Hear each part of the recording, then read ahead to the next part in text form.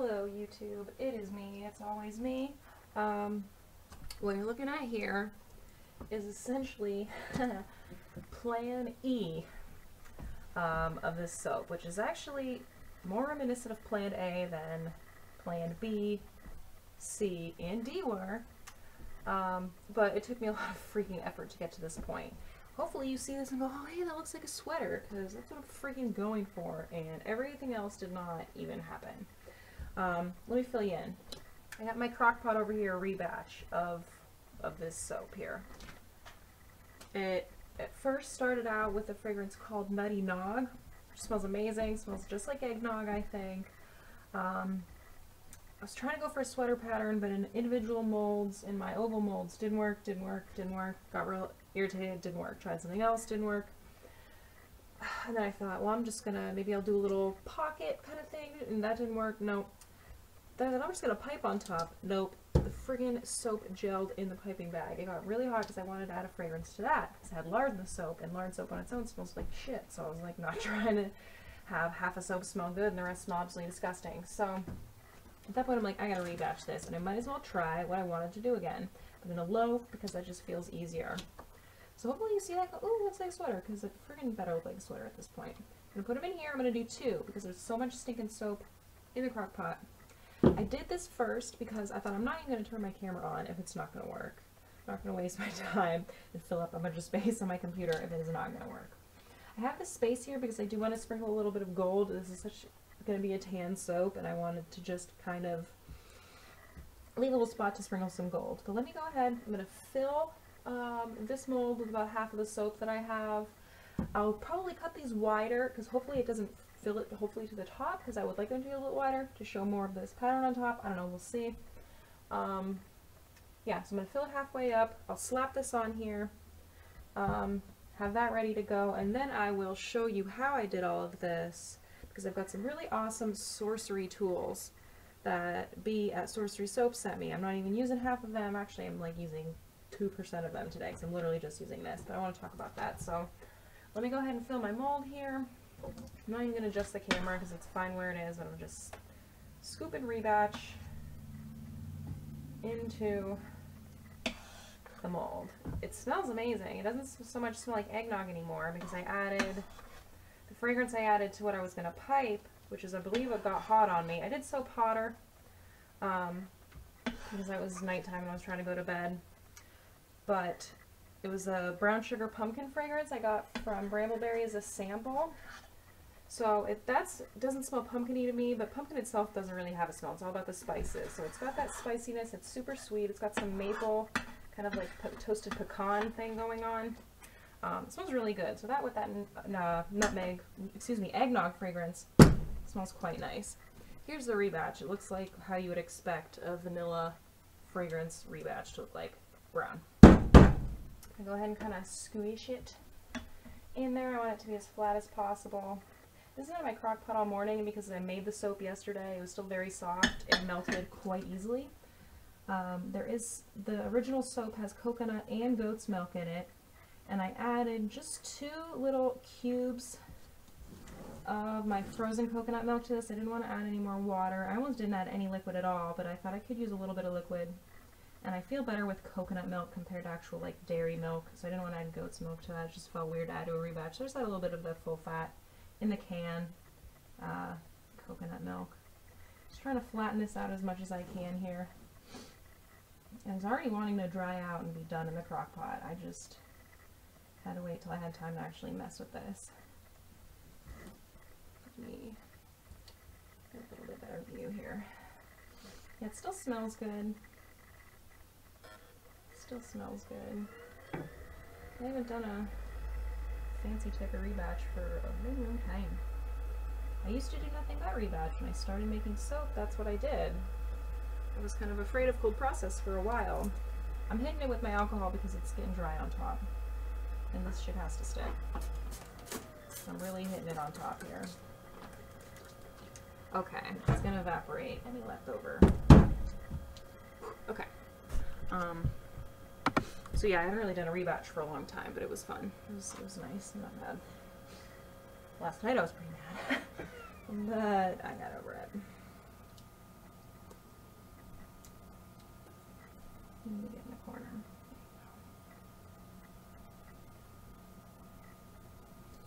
Mm.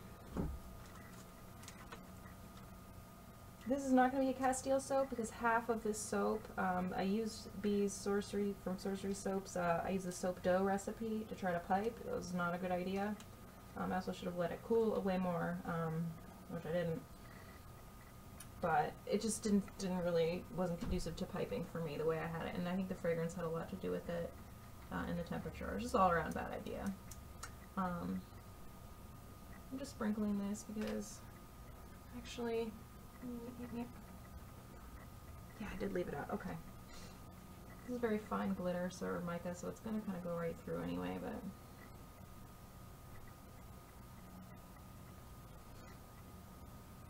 But yeah, so this recipe's got lard, coconut oil, soybean oil, and olive oil. Half of it, what, the, like, what was originally going to be the base of the bar, um, that was totally a Castile soap. It just didn't, just didn't last.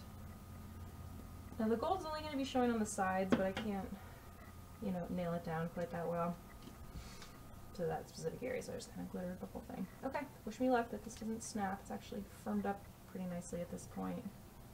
I'm just shoving it in there. The ends are the ends, so I'm not going to worry about that. Okay, in there. You also an end piece you're going in there too. Ugh. I was not gonna let this soap defeat me. I really came close. Because when I when I tried my plan B, I ended up using the oval cutter that I had, and I'm gonna do the center one first just so I line it up properly. Um, it was the oval cutter, and then I just used some of the tools that I got from B to try to like drag this design into it. Nobody thought it looked like a sweater. I showed three people yesterday, and they're like, eh. Jess was like, it looks like tire tracks. So I thought, oh, holy name, Grandma got run over by tires. And I laughed, and she laughed, and that was the end of that. And I'm like, it's I thought, oh, I'll pipe it on top. I can call it, you know, it'll just look like eggnog. Nope. Also didn't work. I'm really pushing because I don't want this to freaking pop out at any point ever. No, you stay in there because you, you need to be in there barely going to be anything sticking out, like there's barely going to be a gap, but that's okay. Gap is not vital, I just didn't want to make any more, I was kind of over it. Just a little bit of gold peeks out, which I did want some, so that's good. It's nice. But I showed Jess along the way, I'm like, I sent her a picture of my first twist there, and I'm like, Jess, this is proof that I did this. in case it's all like blows up literally in my face. Proof that I got this far. And she said it looked like a sweater at that point, so. Hallelujah, amen. Your batch is so gooey and gooey. Okay. I did it. Check that out. Looks like a sweater, right? That looks like a freaking sweater with soap under it. I hope so. Hope so, hope so. Okay. One last little push and squish. Let's get it out of the way. Oop, gotta put a lid on my crock pot or else the soap that's left in here is gonna get dried out. I think I split that up about half and half. We'll see. It's definitely not very tall, so I'll probably get six bars out of that where I normally get eight or maybe even five. I'm not sure. I'll have to just kind of calculate and measure to figure out what's going to give me an even number of bars without that weird unfull-sized end guy kind of thing. I'm not sure. I'm not sure yet. Okay, so that's over there. Let's let me show you what I did. First off, I want to talk about B real quick at Sorcery Soap. She saw my succulents video and she said, because I, you know, I linked to her in both of those videos because I used her recipe and I'm not trying to, I don't ever use anybody else's recipe, so I figured the one time that I do, I have to give credit. She's amazing. Why wouldn't I give her credit anyways? Anyways, anyways. Gave her credit. She hit me up. She's like, oh my god, you did a great job. I want to support you in your molding. Can I send you some things? Email me and send me your address. And I'm like, oh shit. Absolutely yes. Like, yes. two days later, I had the entire 60 piece Sorcery Soap graphing set, and it has all these amazing little detailed cutters. I have these tiny little like poking shaping type tools, which I'm going to use those probably the most. Super excited about that. Um, it's got a rolling pin with some measuring things for thickness. And I saw on Pinterest today that people are actually rolling their snake, you know, they're, it's actually with fondant, you know, rolling it out with this. I was using my fingers when I tried this yesterday, and let me tell you, it really didn't work. I'm going to kind of get it a little bit rolled out in my hands here. But overall, your fingers are not even. It's not going to turn out even because you've got, you know, bumps in your hands. I also think my soap dough was a little too wet yesterday, which was not helping either. But yeah, I just roll it like this.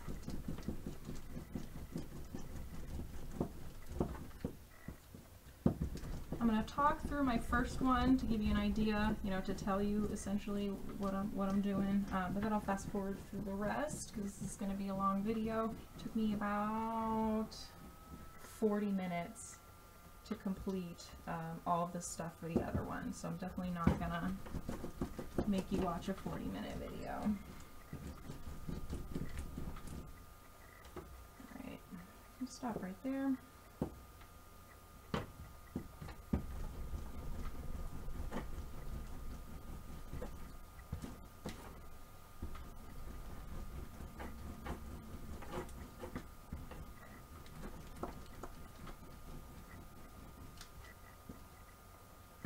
I have the mold close by so I can measure my first one. After that I just compare to the ones I've already made.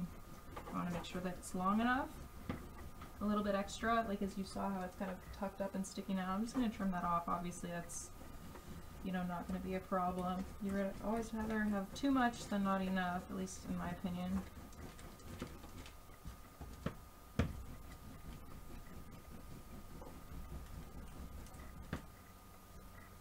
Almost ready. What I did with the center um, knit twist, the first one, I made it slightly thicker than the two uh, adjacent on the outsides of it. It's really hard to tell when they're all squished together, but the center one was thicker, too thin, and then a big thin on just a plain twist here. I think you'll see what I mean more when I'm done, so let me just get to it. Alright, push that off there. We're almost long enough. Whoopsie squished it a little too hard on the end there. Long as you apply even pressure with this thing, it's absolutely perfect. Okay. The soap dough that I have that I'm using to get this cool kind of, I wanted a heathered look, because um, if you've ever seen like a heather knit, it's just that gray with like little wisps of, of darker in there. Um, heather can be, I think, any shade, but typically it's heather gray. Um, I made four different colors of soap dough. One I actually had left over, actually two are left over. One was white with titanium dioxide. The other was left over from my sugar skulls. I ended up pouring that in a mold with the soap dough recipe, but that just had a little bit of my black and gold glitter, which you couldn't really tell unless you're looking up close that there's sparkles in there, uh, but it just was sort of an off-white color. I made my tannish gray with uh, bentonite clay. Because sometimes if you use enough of that, that looks like heather gray all on its own. And then I made a separate little batch with brown oxide to kind of really give it the heathered look. And I really just smush it into this log, and I'm breaking it off and then stretching it out from there.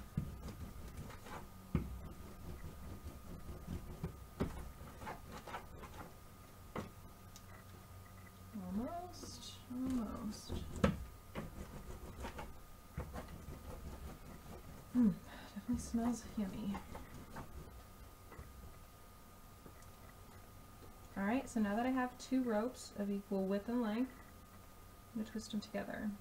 This is the tricky part, because this, you know, soap is not elastic. It wants to break when you stretch it. So you gotta be gentle. Sometimes in areas you have to push it back together.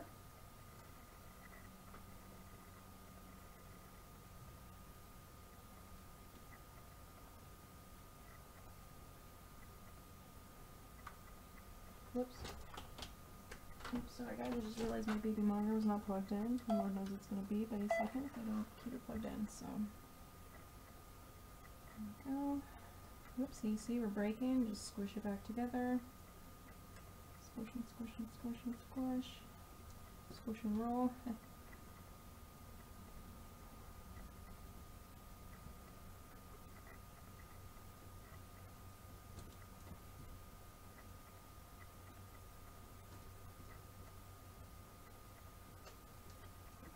So there's one.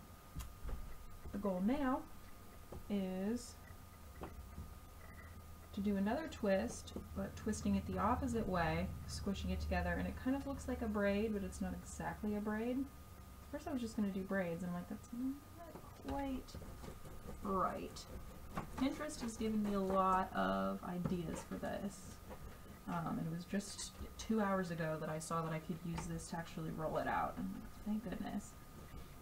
Sometimes Pinterest will just set you up for failure because you see something and you think, ooh, I can do that, and then you totally can't do that. Other times it's genuinely helpful. I saw a lot of people who were making cakes for their grandmothers and stuff, um, for their mothers, I'm not exactly sure, but were, they had cool knitting things and all the fondants shaped like knitting needles and everything. There was one that I saw, and it was like not just plain knitting pattern, it was like somebody actually sat and knitted fondant together. I don't know how the heck they did that. But it was pretty cool. I'm not sure yet. I'll probably not decide until I go to edit this video because I probably got at least an hour and a half plus of footage from yesterday. That totally just was failure. Um, I'm definitely not going to publish that, but I do have the photos of, I'll show you my plan B. I could take a photo of that. Um, or I did take a photo of that. I'll probably enter that into, you know, insert that into the video just to show you. Frankly, I could have left it that way and just been sort of satisfied with how it turned out, and it would have saved me lots and lots of trouble, but I couldn't be satisfied because I've been thinking of this idea since, no joke, like last October or last November. I'm thinking, well, it's too late to go making wintry soaps now. I'm pretty sure it was November. October probably would have been fine. Anyways, it was too late, so I've been planning on it for almost a year. And I thought, you know what, there's no way I'm half-assing this. It has to be right. It has to actually look like a sweater, or what's the, what's the point? What's the point? Getting a little tacky on my thing, so I'm gonna wipe it.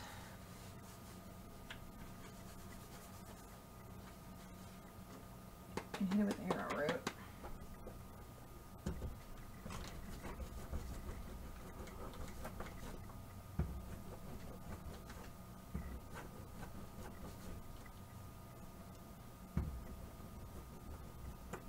Whoopsie doozy. Okay. So those are ready, and let's see. This is how I twisted it last time, just kind of twisting towards me, so I gotta twist the other direction. That's key or it's not gonna look right. I mean, it probably won't look bad, but it's not what I'm going for. I'm just double checking that they're going the opposite way. Yes, they are.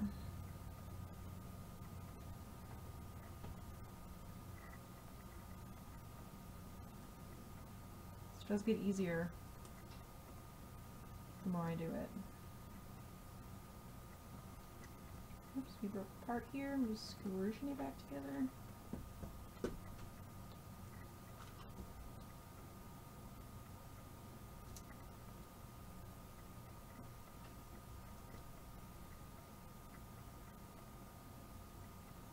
Almost all rolled it. Okay, and then that's that. Do you see how it look, kind of resembles a braid? It's just two twists going towards each other, squished together, and that looks just like knit yarn. So what I'm going to do, there's this, this is my center one. I'm going to do two slightly thinner ones on each side, but they're going to be going that the opposite sort of way. Because this sort of like looks like a V going that way. These are going to be V's going that way. I do two tinier ones there, and then plain twists like this, like on their own, and just for the outside. I'm going to go ahead and do that. You're already about 20 minutes in, so let me get to that and I'll fast forward through all that so you guys get the idea, but I'm not jabbering the whole time.